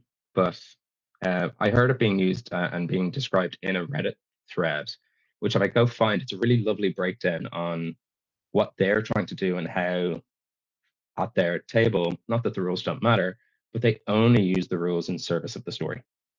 Um, and I'll find it and I'll post it up in the Discord when I do in our sort of TTRPG discussion channel. And if you're not there, it's sort of like this show, but all the time. so, or like whenever topics sort of kick off. Um, Moore is their second name. But anyway, um, I will find it and I will post it and I will get it out there. But that's I, to, to, answer narrative play. Yes, that, that's the first time I heard it, and it was probably about four or five years ago, I think. Um, for for me, like I, the, I I I, so I agree uh with the the concept of uh the, the the kind of what Marcus was saying that like uh the moment the rules of the game uh you're playing stop mattering you might as well be doing an audio drama. Um I I I kind of like about and I and I'd love to see that Reddit thread actually, because uh, that that mm. description kind of aligns with the way I have viewed um, uh, our our approach with romancing the dungeon. In that, like, uh, the rules help the story, not the other way around. Um, and mm-hmm. I, as somebody who, um, as somebody who has, uh, you know, like I, I, I consume a lot of TTRPG content, uh, whether it's streams or podcasts um, or articles or whatever. You know, like we and, and I know you do as well. I know like really, there's a reason why you're watching this stream right now. Um, but it's you're the... doing the thing we're talking about right now. uh, but I um I have always kind of I struggle with uh a lot of the uh, actual play content. Um, mm-hmm. And uh, again, and I, I don't actually make a secret of it. You don't tell me what to do, okay? Sorry. Um, I uh, there's there's two things. I struggle with the actual play thing, uh, where the rules are now at a point that it's hindering the progression of the story. That we're getting not that we're getting kind of caught up in.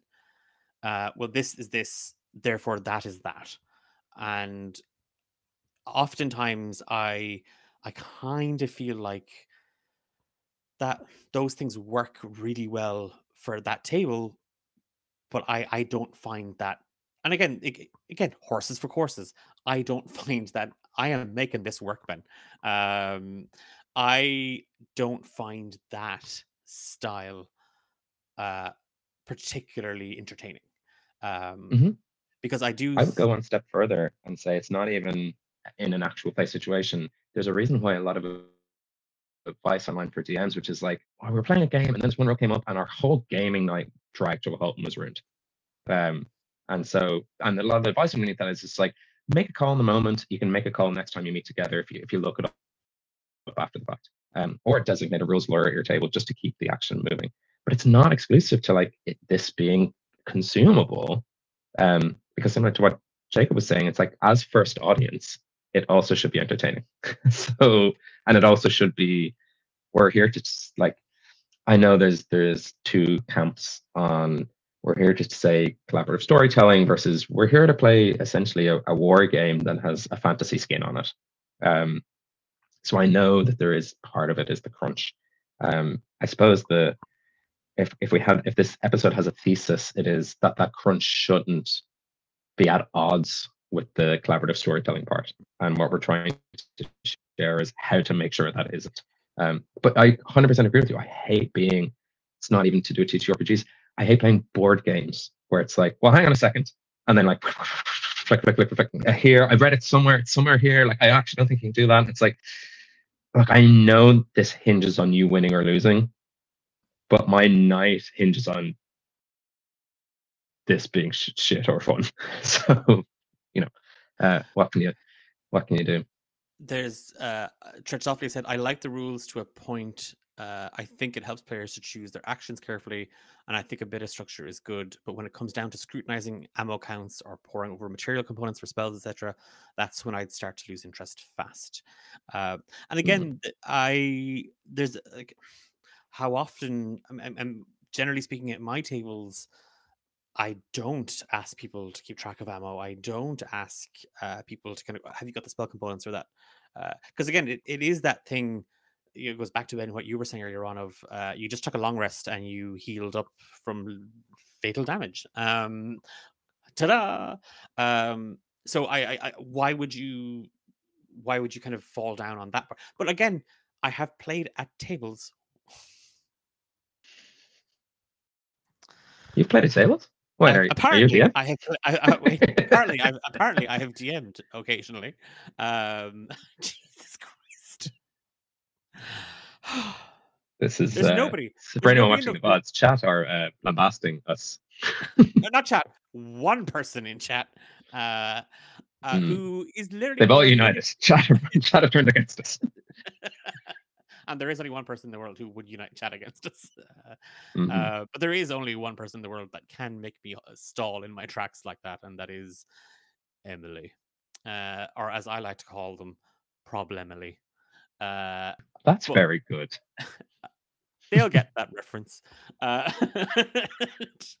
I I have a um like I because again I I don't want it to feel like uh, that I I put because I I do agree uh with the individual in that um uh, like I, I I think kind of distinguishing between the type of stream or podcast that you are listening to uh, is important. Like I, I, I mentioned, you know, we, we we talked about Dungeons and Daddies there, um, Mhm.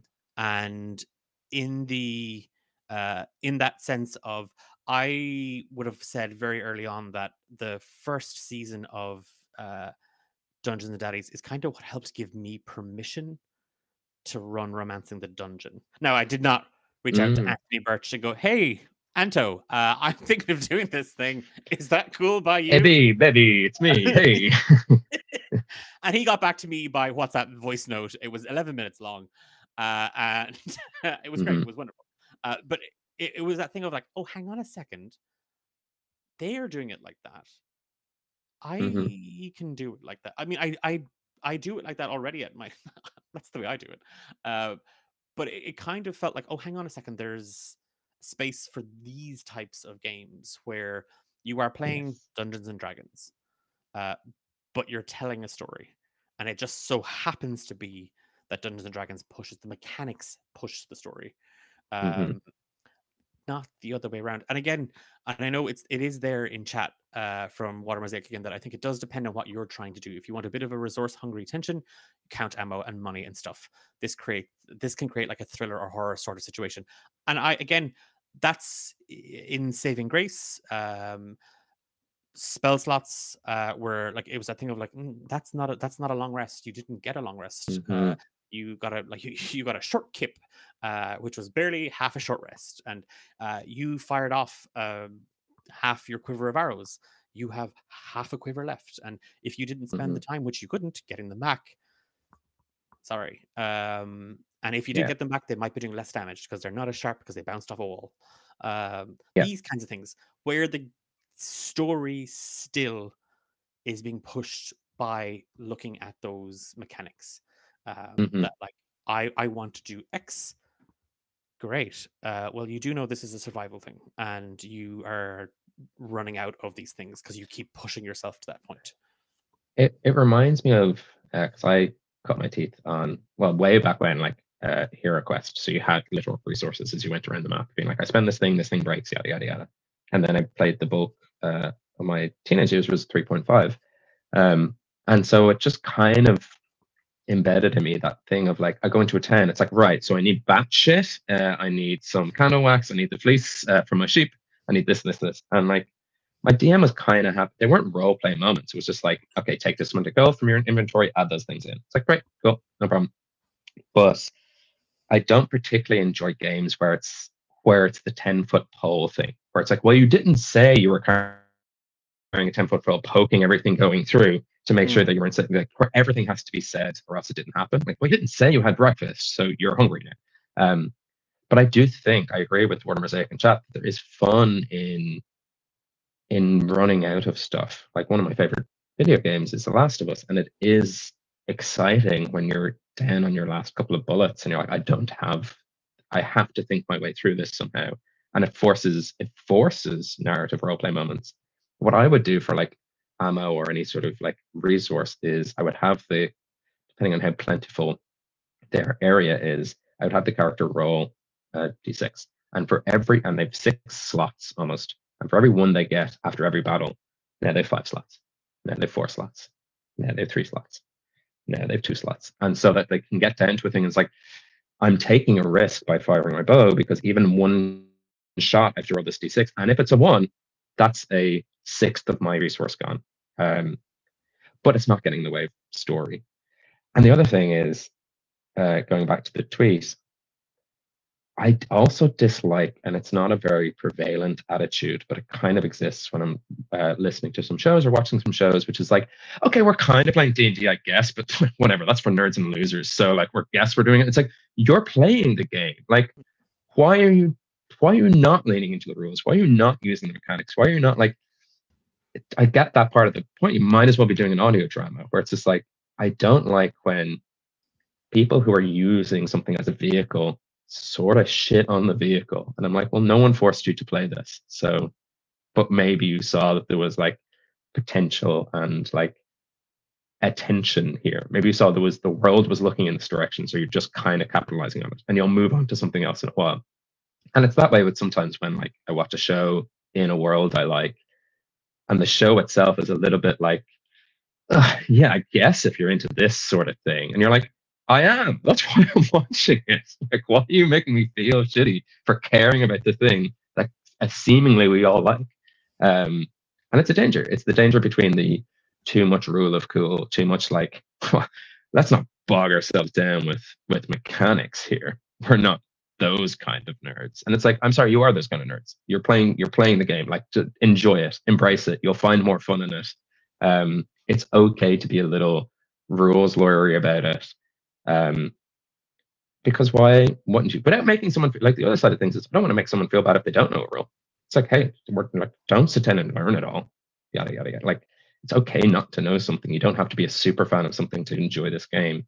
Um, just don't, just don't like belittle the people who happened to. Um, either. Just be fair. Be kind. Be kind. It comes back to that. be kind. It comes back to horses for courses.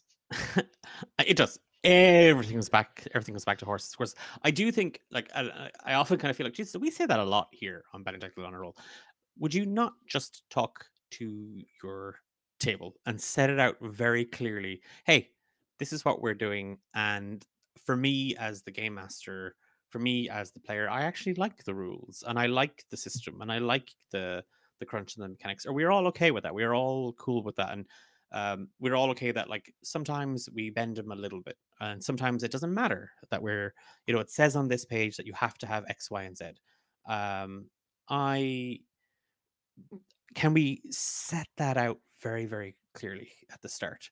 Uh, because ultimately uh, it comes back to that collaborative side to this mm-hmm. you're not mm-hmm. playing a solo ttrpg and if you are playing a solo ttrpg great good have fun but you're playing with players one, two, three, four, five, hopefully not six around a table.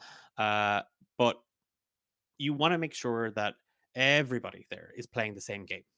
And okay, we're playing D and D five E. Great. These are the rules. This is what I. These are the kind of the things that I like, and set those things out.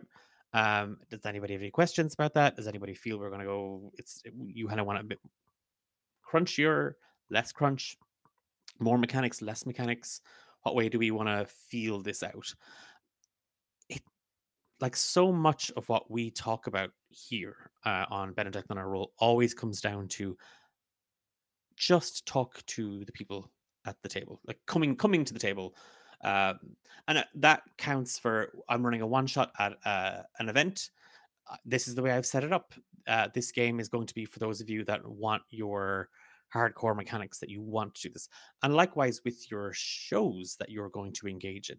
Um, there's nothing wrong with being that actual play that sits there and you know the the movement is tracked across this and half cover it, you don't technically have that because 100% because there mm-hmm. is there's an audience for that um i'm not that audience um but that doesn't mean your show is uh, any worse or better than mine. Um, and you will you will find you, you will find your group, you'll find your players, you'll find your uh, you'll find your tribe effectively. Comes down to again and again uh, i think water mosaic had said it as well in that sense of people will gravitate to what they like and if people want more audio drama whether you want to call it audio drama or you want to call it a narrative play um, and I, I'm not. There's a whole there's a whole other episode there in distinguishing narrative and actual play. Mm-hmm. Um, because uh, where do you draw? Where do you where do you start to draw that line? I think is a really interesting um, question to be considered. Um, but I do want to uh, just thank uh, each individual for helping to prompt that conversation. Mm. Um, it clearly because even chat were kind of excited by it i dropped in um marcus's uh, x uh, account there uh, there the individual uh, marcus uh, streams across uh, a, a, couple of platforms and stuff like that with horde of tales and euphoria ap but also puts out their own content on their own youtube channel exploring various modules and bits and pieces for systems there. I think they're doing a big thing on Pathfinder 2e at the moment. Um, so would strongly, strongly encourage you to check out. And I'll, I'll drop their details over on the uh, Discord as well uh, in TTRPG discussions. Uh, I've listened to a couple of Marcus's um, uh, shows and kind of interviews and stuff like that, and it's just a, a, a fantastic uh, and really sort of interesting uh, person to just kind of like get their thoughts and inputs onto it. Um, I think uh, also, uh, the water mosaic said this is a big old conversation right now in many corners. I'm not sure it really super matters personally, but I think people also think it's important for bringing an audience. It's complex. Yep.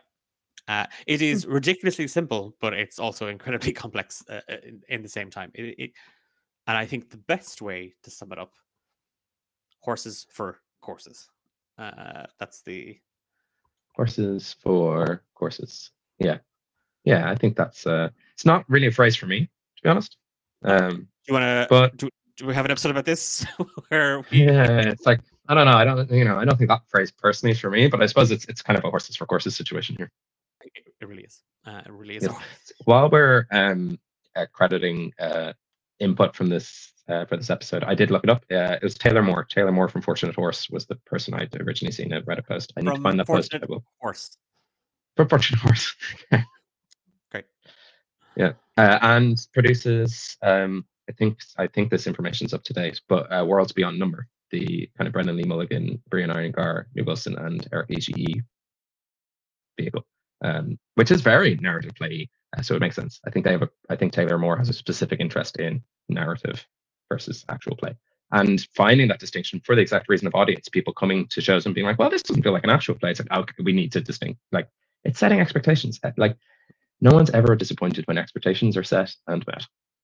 Uh, every horse enjoys the course that they chose themselves. that they chose for themselves and expected to find. Yeah. yes, Um, Uh, is that us that at a is- close? Just- Okay. that is. I think so. Uh, but we're not. This is. I mean, yeah, we've been talking for two hours. Uh, uh, I um, we are like uh, Ben mentioned at the very very start. We are delving into Mm. creativity, and we want to look at it from so many different facets, so many different aspects, um, and kind of the whole premise of Benedictine on a roll was that we wanted to look at all things TTRPG, um, and uh, not just let's discuss the crunch and the mechanics. Let's not just discuss this new system. Let's also look at people who uh, exist within this space that you know you might kind of not think. Oh, hang on, that doesn't really, you know, that's not. We we're going to be talking to artists who create uh, uh, character art, world art, um, for TTRPGs and where they're drawing their inspiration from. What do- are they players themselves, or is this just something that they do? Um, you know, uh, for their own art or for for for money, what, what whatever it might be. Um, we're gonna like Ben mentioned, we're gonna be talking about burnout and that real. Uh, I and I, I think with that, w- uh, I because I, do see it falling into that direction of um kind of even imposter syndrome that kind of comes with this Mhm. space. Uh, I, I, I, I, not not that burnout and imposter syndrome go hand in hand, um, but from a that point of view of it can be a symptom of burning out. That like, oh, I'm not doing good enough. I'm not doing X, Y, and Z enough. Um, and yeah, we've uh, we have some really wonderful uh, folk uh, folks coming on board to help with those conversations and to kind of steer those conversations. And you saw that we kicked off uh, with uh, with Jacob this evening, um, and like Ben said, that interview went on for over an hour, um, and we had to. Uh, we- about 57 minutes, uh, but that's me hitting record. We were also talking for a little bit beforehand too, uh, and I, I and I can't wait to talk again.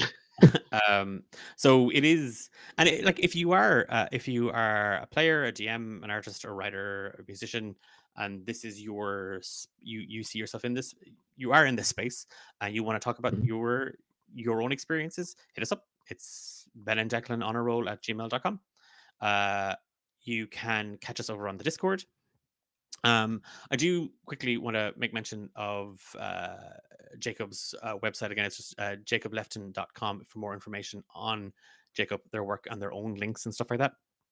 So do make sure you check that out. Um, there's anything else, Ben? I don't know. I don't even have my stupid little skits uh, with me. That, that's fine. the usual kind of yeah. So Okay. uh, so, yeah. I I mean, I can make one up, but it never goes well. No, no, no, no, no, you're, you're okay. Uh, we all, we all saw the, the angles were your skit. We could replay the angles. Uh, yeah, yeah, yeah. Um, I Um, will say that uh, if you are, are on the Discord, I mentioned that uh, there would be a romancing the dungeon. Uh, and Ben for the VOD, you can cut this out if you want. Uh, that's totally fine. Uh, no, no, no, no, it's amazing. There's a uh, tomorrow. if I edit the VODs, I'm so sorry. if I do any work on the VODs, the starting soon is still there. People have to cut through. um, there's a uh, tomorrow morning at 6 a.m. Uh, season three of Romancing the Dungeon kicks off uh, with episode one, Courting Punishment, and uh, with season three, you've already seen the phenomenal title card and artwork uh, that was designed by Dahi Design. Um, and if you haven't, you'll see it tomorrow. Uh, it's a, a beautiful piece that helps kind of encapsulate what's happened the last two seasons and sort of is a wonderful motif for what's yet to come. Uh, but that is then matched by the brand new theme song uh, that we have uh, for you. And I absolutely love Romancing the Dungeon season uh, season one's little beat because it was like it was really fun, it was really cute, uh, it was a really nice way to kick things off. And then last season, season two, we had Haunted from Ghost of Red Mountain, and uh, a, a, wonderful piece uh, of music that again helped kind of encapsulate uh, a huge part of the show. And we leave because this is the final season of this arc of Romancing the Dungeon. Um, and I have a feeling it's going to end rather explosively. Um, I hope. I hope so. Uh, I plan to. I will see. Um, but it, it's there's. I, I, want there to be. Uh, anyway, the theme song we have uh, was uh, written and performed by Stephen Tynan of uh, Left on Red uh, an Irish uh, based uh, band. And uh, Stephen uh, had uh, Abby Soiree come in and do mm-hmm. the vocals for our theme song. and now I am delighted that we end tonight's episode of Ben and Declan on a roll, giving all of you who are here with us in chat a chance to hear the full theme song uh, and it's uh, it's a freaking banger. Uh, that's the only way to describe it. And if you're going like, I'm not from Ireland, what does a banger mean? You'll know what a banger means after you've heard this, Uh because uh, this is uh, ace. It's it's everything I had asked, and I only asked. I only gave like two sentences. Uh, I was like, "This is what I want. Please do something with it." And from that, they made this. Um, so while that is gearing up, we are going to raid another channel. We're going to keep the keep this going, but I do uh, thank you so much to everybody who joined us in chat this evening. Uh, thank you to Jacob for their time with uh, Ben and the interview. Uh, thank you to Ben uh, for well for his time uh, and for being here. Yeah, no, no. Thanks for bearing with being in a, a new home. I'm, I'm, minding a dog. I do that sometimes in my spare time. So thanks for sticking with me, and thank you, Declan, for for always being a very lovely co-host and for pushing for inspiring creativity in me. Uh, and just at that point in time, Toby, the dog, has come over to me and landed on my lap. Um, but hold on, I can do, I can do, there, like, there. Oh, look at him. I'm a captain. Um,